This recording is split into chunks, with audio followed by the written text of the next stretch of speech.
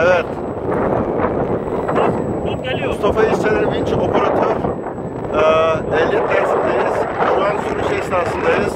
Aşağı yukarı 50 kilometre hızla yük kaldırmaya Aksaray'da e, yapmaktadır. Biz de yukarıdan vinçin kullanılışını takip ediyoruz. Çocuk gibi sallanıyor baba. Tamam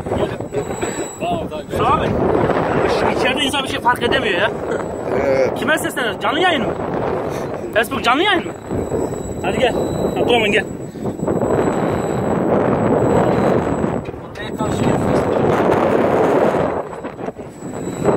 Evet burada hep birlikte Türkiye'ye mesaj veriyoruz. Ne diyorduk? Gel. Darbeye karşıyız. Darbeye hayır.